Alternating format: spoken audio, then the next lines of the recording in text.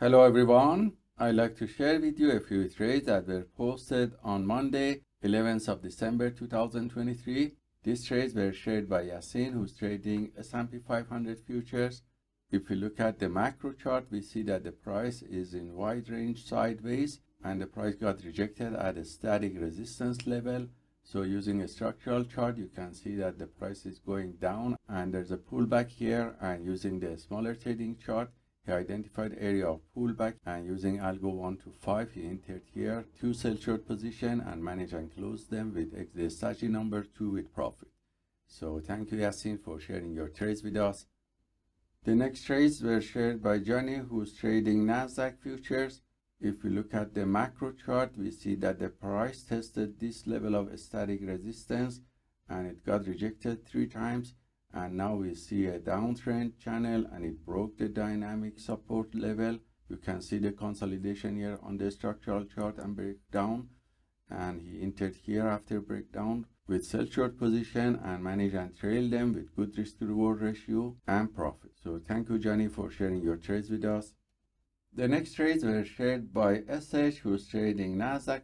As you see the macro chart is in uptrend and reached area of static resistance and it broke that level so we can see that breakout on the structural chart. And this wave of uptrend here that had some pullback was taken using the one minute trading chart. So she identified this area of the pullback and entered based on algo 1 to 5 one position here and another long position here and manage and close them with exit strategy number one with profit. So thank you sh for sharing your trades with us the next trades were shared by PM who's trading Nasdaq CFD. As you see the macro chart broke this level and we can see that the price is in uptrend. So using the structural chart you can see also the uptrend channel and the consolidation area.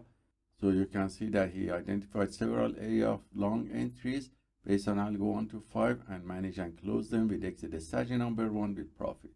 So thank you PM for sharing your trades with us. The next trades were shared by MG, who's trading Dow Jones CFD. As you see, the macro chart is in uptrend and is losing momentum. So you can see in the structural chart, the uptrend that is losing momentum. And the last wave of the uptrend was taken using a smaller trading chart here with several long positions. And when the price reversed and the seller came back, he took also sell short position here based on algo 1 to 5 and close and manage them with exit strategy number one with profit. So thank you PM for sharing your trades with us. The next trades were shared by Sam, our global instructor from Australia, who's trading Nasdaq CFD. As you see, the price on the macro chart reached this area of static resistance and it got rejected. So using a smaller structural and trading chart, he identified this area of price rejection and entry based on setup B and enters several sell short position and manage and close them with very good risk to reward ratio and profit. So thank you Sam for sharing your trades with us.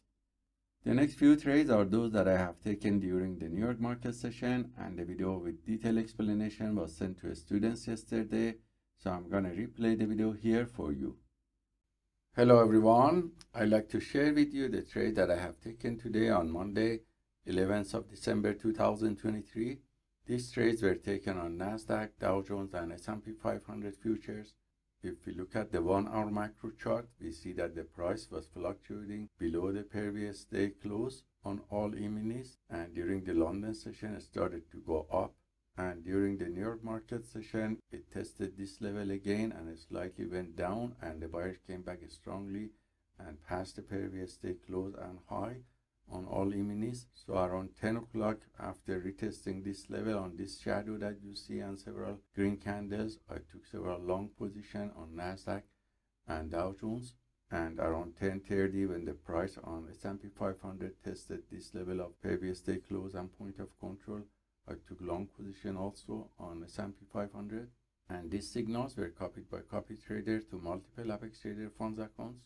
And you see the performance on one of these accounts that shows it was positive with profit factor of 17 with 81% win rate from the long positions taken and average win to loss ratio of 3.89. The largest winning trade was $808 and the largest losing trade was $144. So hope this trade taken by the PAAT system for fast scalping is useful for you and let us know if you have any questions. Have a wonderful day.